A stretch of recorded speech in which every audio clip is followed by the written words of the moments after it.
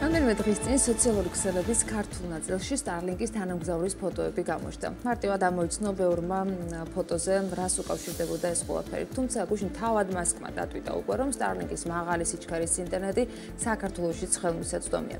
Elon Musk-ის დაარსებული კომპანია SpaceX-ის Starlink-მა კომუნიკაციების კომისიაში სატელიტური ინტერნეტ სერვისის მიწოდების მიზნით ავტორიზაცია გასული წლის ივლისში გაიარა. კომუნიკაციების კომისიის ინფორმაციით ავტორიზაციის განაცხადი კომპანიამ 8 ივლისს 2022 წელს შეავსო 29 ივნისს Starlink Holdings ნიდერლანდსმა კი საქართველოსში შვილობილი Starlink Georgia დააფუძნა და ავტორიზაციის მიზნით 8 ივლისს კომისიასაც მიმართა, რის შემდეგაც კომისიამ უკვე 14 ივლისს Starlink-ს მიენიჭა ავტორიზაცია. ერთია რომ Starlink-ის საშუალებით ინტერნეტი ხელმისაწვდომია, მეორე რას ცulis ის ბაზრის ტრადიციული მოთამაშეებისათვის. Starlink-ის ინფრასტრუქტურის მიღებას მომხმარებელი ერთ-ორ კვირაში შეძლებს უკვე, ხოლო რაც ყველაზე მნიშვნელოვანია, ანუ ინტერნეტის სიჩქარე ის იქნება ცვალებადი და დამოკიდებული იქნება როგორც ამინძზე, ასევე ხელოვნური თანამგზავრების ადგილმდებარეობაზე. გადმოწერის შემთხვევაში Starlink-ის ინტერნეტი 40-დან 220-ზე მეტ მეგაბიტ წამის შუალედში მერყეობს და ატვირთვის შემთხვევაში შუალედი 20-დან 25 მეგაბიტი წამია. დაყონება კი 20-დან 60 მილი წამამდე. არნაკლებ მნიშვნელოვანია მომსახურების ფასიც. Elon Musk-ის კომპანიის სერვისის ღირებულება ორ ნაწილად არის გაყოფილი, რადგან ინდივიდუალური, ანუ საცალო მომხმარებლები ერთი ტარიფით სარგებლობენ, კორპორაციულ მომხმარებელს კი მეორე ტარიფი აქვთ. ამასთან Starlink-ის ყოველთვიური გადასახადი ორი ნაწილისგან შედგება და ამ სერვისის მისაღებად მომხმარებელს გარკვეული ინვესტიციის განხორციელება დასჭირდება. ინდივიდუალური მომხმარებლებისათვის Starlink-ის ყოველთვიური გადასახადი 160 ლარია, ხოლო სერვისის აპარატურის მისაღებად გადასახდელი თანხა 1780 ლარია, მაგრამ ეს თანხა არის ერთჯერადი.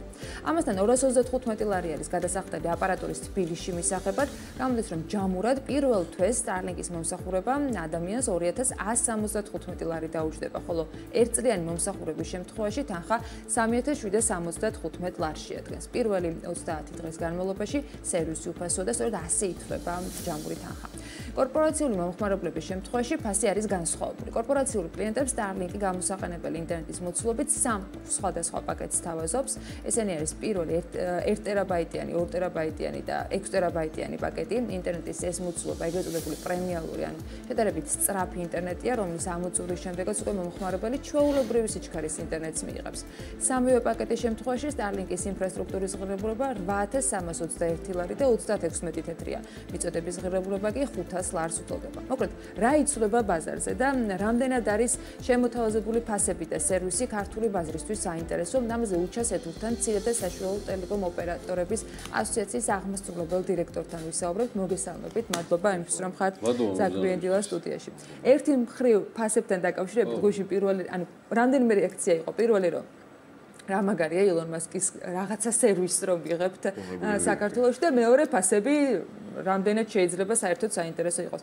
მოდი დავიწყოთ იმით, რა შეცვალა ამ ტექნოლოგიის საქართველოს ბაზარზე შემოსვლამ, რა შესაძლებლობა გაჩნდა და რამდენად ადეკვატური არის ის ღირებულება, რაც შემოთავაზებული არის კომპანიისგან.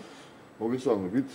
შეიძლება ითქვას, რომ ნამდვილად მოსალოცი ამბავია ეს პირველში უნდა ითქვას აუცილებლად, იმიტომ რომ ტექნოლოგიურად დაიფარა საქართველოს სრულად პრემიალური კარგი ხარისხის მარტივად გამოყენებადი სერვისები, თვითონ მანალის არსებობდა შეიძლება დაბალხარისხიანი პროფტულად გამოყენებადი თანამედროვე ტექნოლოგიები მოგესალმებით, თუმცა მათ ფასი მაღალი იყო, მოსახერხებელი ნაკლებად იყო და ეს ჩავთვალოთ, რომ გამარტივდა იმდენად მარტივია, რომ მას ორი წუთი ჭირდება, სწორედ ავაწყოთ მომხმარებელმაც კი სულად გამოუსწელმა და მომზადებელმა და ჩვენ გვაქვს ინტერნეტი მიმღები რაც რაც დაჭირდება. დავაყენეთ, რომელიც რამოდენიმე წამში უკვე ასწორებს, უწოდება თანამგზავრს თვითონ ავტომატურად შევერთეთ როუტერში შეიძლება ინტერნეტი გამოვიყენოთ. ამიტომ ვთქვათ, რომ ის ძალიან ძალიან კარგი ამბავია, განსაკუთრებით იქ სადაც ჩვენ ინტერნეტს საერთოდ არ ქონდა, იმათვისაც უყვარს მოგზაურობა, თუმცა რა ვთქვათ, ეს არ არის ფართო ბაზარზე გათვლილი სერვისი საქართველოს შემთხვევაში, იმიტომ რომ ჩვენ ვფიქრობთ, რომ ეს არის პრემიალური სერვისი, ძალიან კარგი, კიდევ უნდა ერთხელ მას ერთხელ ხაზი გაუსვა. აა შეიძლება ფაქტორები რა შეიძლება იყოს ჩანაცვლების ფაქტორები ხო? ფასი, ხარისხი ორივე შემთხვევაში ოპტიკასთან მისი შედარება უბრალოდ არასწორი და შეუძლებელია განსაკუთრებით ქალაქის პირობებში. რეგიონებში შეიძლება შევადაროთ, თუმცა ეს არის დროებითი ამბავი, იმიტომ რომ ჩვენ გვახსოვს რომ იმდენებს ოპტიკი ოპტიკის გაყვანა მაგამთიანეთში, მათ შორის აჭარაში, ცვანეთში და აჭარაში და ლეჩხუმში და უკვე ეს ამბავი ჩავთვალოთ უკვე რომ გამორიცხოს რაიმე თანამგზავრული ალტერნატივის შეთავაზებას მიუხედავად სიჩქარეებისა და ასე შემდეგ, იმიტომ რომ ზნათი სიჩქარე ყველაზე სწრაფი და ყველაზე, ვთქვათ, ოპტიკური. ოპტიკური, რა თქმა უნდა, მათ შორის ოპტიკაზე დაერთებული ლასტფელ რადიოტექნოლოგიაც, იმიტომ რომ აქ ჩვენ არ გვაქვს ხელშეშლა და ასე შემდეგ და ნუ ბევრი სხვა პლუსებია, მაგრამ კიდევ ერთხელ გავემეოროთ, რომ ეს არის ნამდვილად რევოლუციური ფასით საქართველოსთვის შეთავაზებულია უფრო დაბალი ვისაც ჩვენ ველოდით და ეს დაანონსებული იყო მანამდე, დაახლოებით სამჯერ ვაუწყდები და მადლობა ამისთვის კომპანიას და ილონ მას. და ნამდვილად შეგვიძლია თქვა რომ ორ ჩემს დაებადოს უბრალოდ გამბაჟების საფასუროს და გავარკვევ ცოტა არ ვიცი ალბათ დივაისების დივაისების შემოსთვის რომ ეს სამასაზე ძვირ ახალგირს თუმცა მიუხედავად ამისა თქვით რომ არც ის თანხარის კატასტროფული იმიტომ რომ ტექნოლოგია მათ შორის ფიზიკური პირებისთვის ცოტა სირია მოცულობთ უნდა პატარა იურიდიული პირებისთვის ცოტა უფრო დიდი იმიტომ რომ მეტ ინფორმაციას ატარებს. ამიტომ თვით რომ ეს არ არის არც ვირი ანუ ხო როცა სიცილეზე და არც როცა სიცილეზე ვსაუბრობთ. ეს არ არის თანაბარ კონკურენტული შეთავაზება რეალურად ანუ კონკურენციაში არ შედის არაფერთან. ეს არის შესაძლებლობა და ხელმისაწვდომობა ხო? დღეს ბაზარზე არსებული შესაძლებლობები არის თანამგზავრული ანალოგები რომლებიც ვერც მოვა ტექნოლოგიურად ამ ამ შემოთავაზებულ ალტერნატივასთან ეს ერთი რაც შეეხება თანამგზავრი თანამგზავრთან შედარებას რაც შეეხება ოპტიკის და რადიოს და DSL-ის და სადენიან და უსადენო მიწისზე და იმას ვერ შევადრებთ ამას, იმიტომ რომ ფასი ტექნოლოგია ხარისხი სიჩქარე ჩვენ ახსენეთ დაყოვნები და კაი ეს და იმიტომ რომ აპრექტო ჩამოტვირთვის სიკიცია დამისხება მომხმარებელი. არის კიდე ჯიტერი ამ დაყოვნების ყევის მაჩვენებელია 30-ამდე პარამეტრი, რომელსაც ჩვენ უზომავთ მომხმარებელს და ვაძებთ კომისიას ვიკონტროლებს. რომ ამაში თავად მომხმარებელი როგორც ის გეიმერია, ან მიმულია დაუშვათ ის რაღაცა რომელიმე ბიჟის ნადაც საკმაოდ საკონტროლებს ან მისთვის სხვა პარამეტრი არის ღირებული. მაგრამ ეს ყველაფერი ცოტათი უფრო უარესია. ჩვენ გვაქვს გერმანელი მეცნიერების რვათვიან ცხრათვიან დაკვირვება ამ ტექნოლოგიაზე. სტალინგზე? სტალინგზე. კი მათ ჩარტეს და უყურეს ზაგრიტიკულად და თქვენს აპთაიმი ონა უფრო უარესია დაახლოებით 2-3% ოპტიკის აპთაიმი 94 და რაღაცა მეათედია 99 ოპტიკის და ესე იგი დაყოვნება ეგრეთ წოდებული GT-ის პინგი ხო უფრო გასაგებია თითქმის იგივეა ჯიტერის დაახლოებით იგივეა. ანუ ერთადერთი პრობლემა რაც დააფიქსეს არის ესეთი წვიმის დროს, ძლიერი წვიმის დროს და ძლიერი თოვის დროს შეფერხება ისეთ ძალიან ნორმალურია. კი, კი, კი. ამიტომ თქვათ რომ ეს ნამდვილად პრემიალური სერვისია, ეს არ არის ჩვეულებრივი ესეთ ჩვენი ყოველდღიური მოხმარებისთვის განკუთვნილი სერვისი, სახლების და ოფისებისთვის, იგივე თქოს შეარინგის მოდელი და რაღაცა. ალბათ არ ეღირება ეს. ქალაქებში ხარ, როცა ჩვენ 5G-ზე ვლაპარაკობთ, უკვე დაიწყო სელფი ამის დაგოქვა ასე ვთქვათ და მალე შევერთებიან სხვაებიც.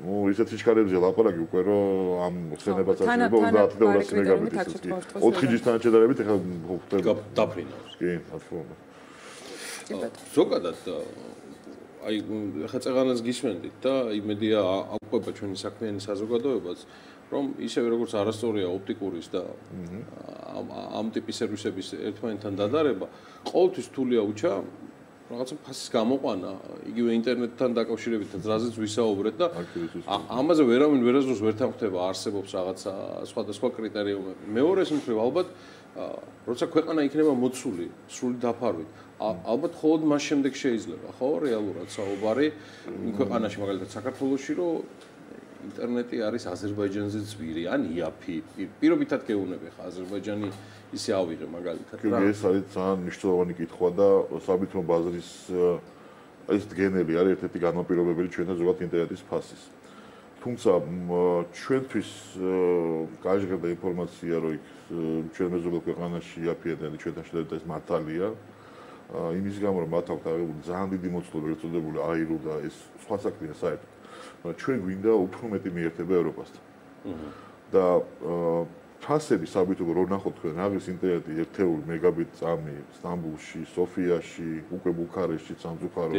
კიევში რა ღირდა ომამდე და რაღაც ეს თბილისში, მათ შორის არის კატასტროფული სხვაობა. იგულისხმება რომ საქართველოს ლარებსა და ცენტრებს შორის ბევრად. ამიტომ ჩვენ გვინდა ბევრი პირდაპირ მიერთება ევროპასთან ამ ცენტრებთან, რომ ეს პოპები გადმოვიდეს და ეს საბიტუმო მიერთების ცენტრი დავარქვათ ამას თუ ინტერნეტ ექსჩეინჯ პოინტები დავარქვათ თუ პოპები დავარქვათ გადმოვიდეს თბილისში. როგორც მინიმუმ რეგიონული მაინც ამაზე რომ ჩვენ რეგიონულ ხაბზე ვსაუბრობთ საქართველოსზე ეს უნდა იყოს თბილისში რომ ჩვენ მივცეთ ცენტრალურ აზიას ჩვენ მივცეთ ირანს მათ შორის სომხეთს მათ შორის აზერბაიჯანს მათ შორის იგივე რუსეთის სამხრეთს თურქეთის ჩრდილოეთს მივცეთ ინტერნეტი თბილისიდან. ამისთვის საჭირო არის ჩვენი დაერთება ევროპა შავი ზღვაზე უფრო კაბელი და ეს ყველაფერი ის მიერთება უკვე ბუქარესტთან, იმიტომ რომ ბუქარესტთან ბევრად აჯობა სოფიას, ახალი ინფრასტრუქტურებში ძალიან ბევრი ფული ჩაიდო და უმოკლეს იგზავნება. უფრო გამარტივად გასაგებთ ენაზე თქვა, ანუ დღევანდელ ფასებს როცა უყურებს მომხმარებელი და უკმაყოფილებას გამოთქვამს ინტერნეტის ფასებთან დაკავშირებით. ანუ დღეს საცალო მომხმარებელი, რომელიც ტელეფონში, smartphone-ით იყენებს ინტერნეტს, სახში აქვს შესაბამისად ინტერნეტი, ეს ფასები რამდენად არის რასთან რასთან მოდის შედარებაში? ან რა შეგვიძლია შევადაროთ და საიდან მოდის ეს ფასები? ანუ რა ზრდის ამღირებულებას ან რა აიაფებს სხვა ქვეყნებთან შედარებით? აა შეხშიათ აი ხომ აღრევა სააქციო პასები დარდება ხომ კრიტერიუმები პასებს ხო. დრაივერები არჩეულია ხომ სხვადასხვა პროექტი კატეგორიებიდან და მე ამ შედარებით ვიღებთ სულ ჩვენა დავიყვანოთ ერთეულის პასი ერთვაგებით წამზე რაღის იდეა ქვეყანაში ის შეხედვით შევადოთ ისინი ერთმანეთს. და ამ პარამეტრებით ვინდა გიხათ რომ ჩვენი პასები შედარებით იმ სიშორიდან არჩეული მოცემულობებით რაც ჩვენ გვაქვს ჩვენ რო ვიყოთ ახლა მაგალითად ბულგარეთის რუან რუმინეთის ადგილას ასმოციმულობა არ ვიქნებოდა. გეოგრაფიული გეოგრაფიიდან გამომდინარე პრობლემები ევროპასთან და ერთები. ჩვენ დახედოთ სოფლიო ქსეს როგორ არის შეერთებული სოფლიო ერთმანეთთან. ჩვენ ვართ სადღაცა შუაში და ჩვენ ინტერნეტს ვიდეთ მიუხედავად იმისა რომ ვართ შუა გზაზე ამ შეერთებების. ანუ დიდი სიმძიმის ცენტრების ამერიკისა და აზიის და ევროპის ხო? ინტერნეტი ჩვენთან მოდის, უკუღმა ევროპიდან ისე ტრიალდება, შეიძლება ჩვენი ჩვენი გავლით გადიოდეს. რატო ვერ მოახერხეთ ამ წლების განმავლობაში, რომ ცენტრი გადადანილიყო? ჩვენი თავარი მეზობელი ოკუპანტი მეზობელი შეიძლება პირდაპირ არის ამის თავარი მიზეზი, რომელიც ცდილობს რეგიონში არავის ეს საშუალება ევროპამდე შევიდა თვითონ და ყველაფერი გადადეს თვითონ. მიუხედავად იმისა, რომ იყო ჩვენთან შავი სკარბი და არ დღესაც ხო კავკასიონის რომელსაც ისტორიები მოხდება თავის და ის გაუშტა მაგრამ რუსები ორი კაბელით არიან მიერთებული ჩინეთთან და ცდილობენ რომ ეს ტრაფიკი უბრალოდ სხვა არ მიიღოს ან მიიღოს ამ მიზერული მოდელობით და ამას ასრულებენ ფინეთის ყურში ჰელსინკში მათ შორის ნუ გეოპოლიტიკა ძალიან დიდ როლს თამაშობს აქ ინტერესებს აღმოდით ფუზე ლაპარაკი და შეიძლება დავთვალოთ შევადაროთ. ამიტომ აი ეს ჩვენი იზოლაცია და ჩიხური სიტუაცია რომელიც შექმნილია შეიძლება ხელოვნურადაც ამის იგივე ევროპასთან ეს დაახლოების მთელ მოდელში და მათ შორის დიდ პოლიტიკურ კონტექსტში კანდიდატის სტატუსი იქნება ეხლა წლის ბოლომდე თუ რაღაცა ესეც პირდაპირ კავშირშია იმასთან რომ ფასები ინტერნეტზე გახდეს ევროპის დონის. აბსოლუტურად ჩვენ ვიღებთ პირდაპირ დაერთებას ევროპასთან ნიშნავს რომ ყველაფერი სიჩქარე ხარისხი ფასები იქნება ევროპული 10 ჩე უფრო შემცირდება საბითუმო დონეზე ამის პირობას მიგალდეთ საქართველოს როგორც მინიმუმ. როგორც კი მიათება ვიქნება. უჩასეთური მცირე და საშუალო ტელეკომ ოპერატორების ასოციაციის აღმასრულებელი დირექტორი, მადლობა მას ძალიან საინტერესო ინტერვიუსთვის და მასთან ამ საუბრის ვიდეო ვერსიას სულ რამდენიმე წუთში შეგვიძლია.